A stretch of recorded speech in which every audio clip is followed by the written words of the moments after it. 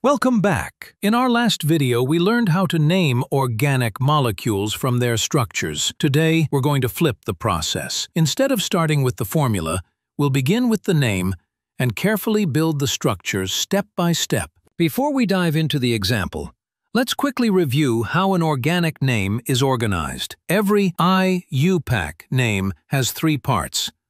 First, the prefix, which tells us about the substituents and where they're attached. Second, the parent, which gives the main carbon chain.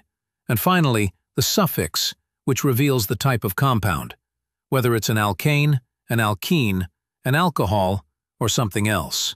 All right, let's try one together. 2, 2, 5-trimethylheptane. We'll start with the parent. The word heptane has two parts, the root hept tells us that the main chain contains seven carbons. The ending ane is the suffix for alkanes, which means all of those carbons are connected by single bonds. So our backbone is a straight chain of seven carbons. Next comes the prefix, 2,2,5-trimethyl. This tells us we have three methyl groups in total. The word tri confirms there are three, and the numbers show us their positions. Two of them are attached to carbon number 2, and the third one is attached to carbon number 5.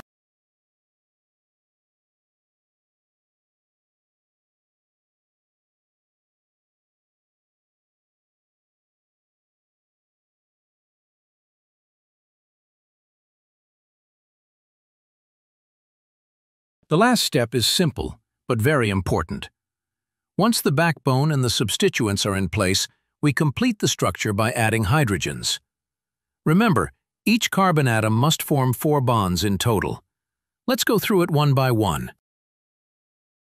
Carbon 1 is at the end of the chain. It's attached to only one carbon, so it still needs three hydrogens. Carbon 2 already has four bonds, one to carbon 1, one to carbon 3, and two to the methyl groups. That means it's completely satisfied and doesn't need any hydrogens. Carbon 3 and carbon 4 are in the middle of the chain.